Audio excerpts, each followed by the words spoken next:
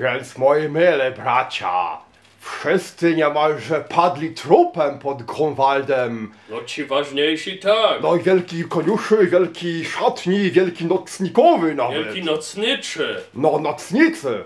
Więc mamy kilka dni, zanim tutaj słowiańska słołocz. nie ma się po co, po co łaszczyć. Nic nie zbierzemy, zaraz tu będą. Spokojnie, mamy do czynienia ze Słowianami.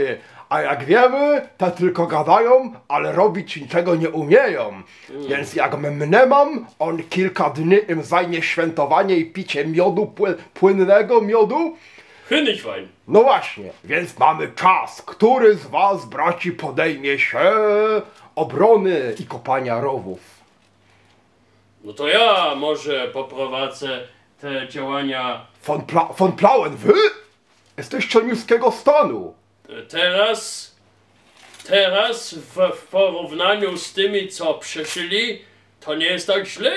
Jestem stosunkowo wysoko. No może macie rację, no to róbcie. Kiedyś byłem prawie komturem. Uuu, No. Ale nepotyzm wuja nie wystarczył.